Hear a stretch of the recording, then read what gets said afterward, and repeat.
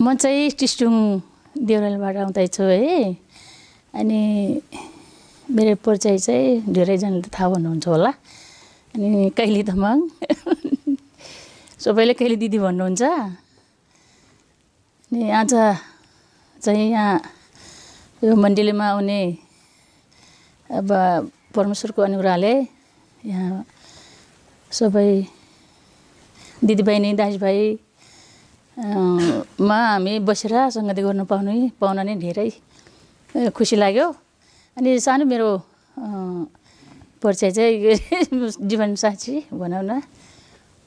मैले प्रभुले कसरी पायो भनेर। पहिलाको जीवन मेरो कस्तो थियो अहिले कस्तो छ भनेर। अनि पहिला त मेरो एकदम जडिया जीवन थियो। अनि त्यो जडिया भएको पनि मेरो बुवा विवाह चाहिँ पालोङ गाविस खैनी थियो हुन्थ्यो भएको थियो उन्नाइस वर्षमा मेरो विवाह भएको थियो। अनि विवाह भएर कति अहिले कान्छो छोरो गर्भमा चार महिनाको हुँदाखेरि अनि मेरो श्रीमानले अर्को कान्छी श्रीमती ल्याउनु भयो सौतिनी सौती सौतिनी ल्यायो। अनि त्यसपछि चाहिँ हेरचाह केही पनि गरेन। त्यही भएर दिदीको घरमा टिस्टुङ देउरालीमा बसिरहेको थियो। अनि मेरो छोरो त्यही नै जन्मिएको थियो। छोराले अहिले अठाइस वर्ष भइसक्यो। अनि कान्छो छोरोले अहिलेसम्म म त्यही नै बसिरहेको छु। अनि त्यहाँ बस्दा बस्दै कति जीवन मेरो कति वर्ष कति समय जीवन मेरो कति दुःखमा काष्ठमा बितेको थियो। तर त्यस्तो दुःख काष्ठमा चाहिँ रक्सी जातले मलाई शान्ति हुन्छ भनेर। जति मलाई दुःख भयो कि मैले रक्सी खान झन् बढी रक्सी खान खोजेँ।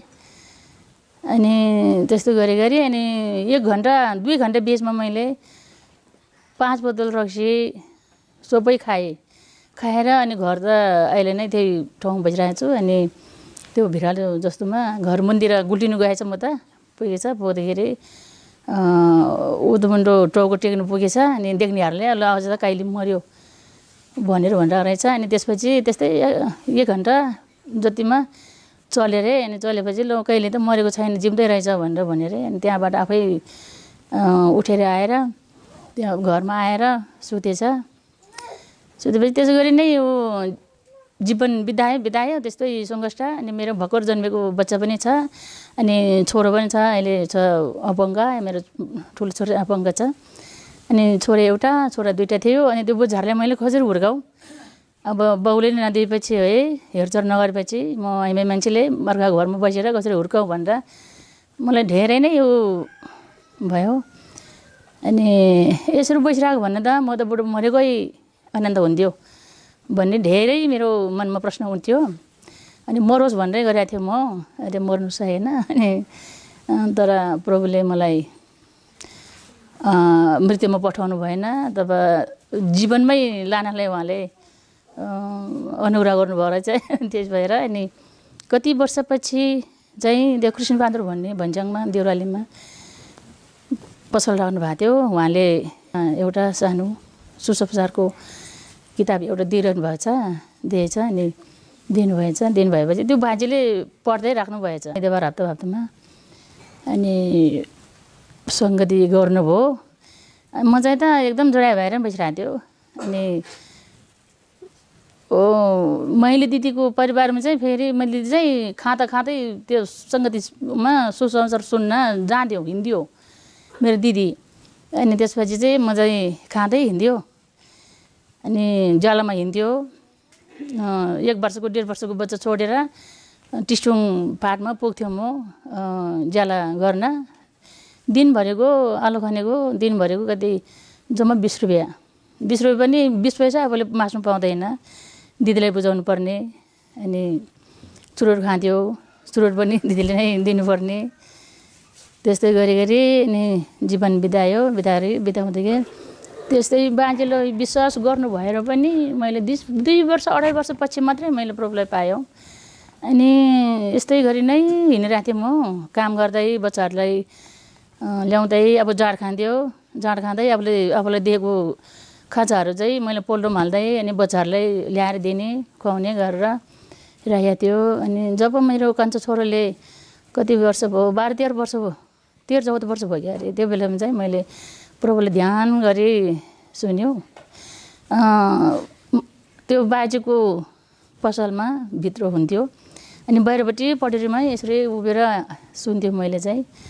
अनि एभेनेजरबाटै पठाउनु भएको आउनु भएको थियो। अनि त्यही भएर त्यही भएर अनि बस्यो बाहिर बसेर सुन्यो। सुन्दाखेरि भित्र बस्नु न कहिले त्यही भित्र बस्नु भन्नुहुन्छ। म यही हुन्छ यही भएर हुन्छ भन्छ म यहीँ बसेरै सुन्छु भन्छु।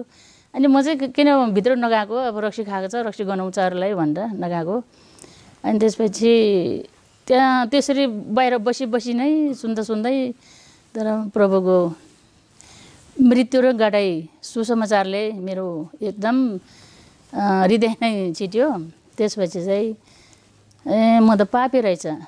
म पापीको सट्टामा उहाँ स्वर्ग छोडिकन यहाँ संसारमा आउनुभएको र क्रोसमा मर्नुभएको र गठ घटिकन बौरी उठ्नुभएको त मलाई नै बजाउनुको निम्ति रहेछ भन्ने त्यही ऊ